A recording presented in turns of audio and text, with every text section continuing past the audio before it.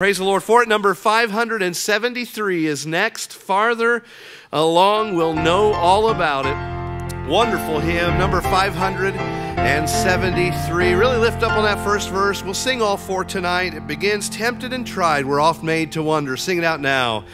Tempted and tried, we're oft.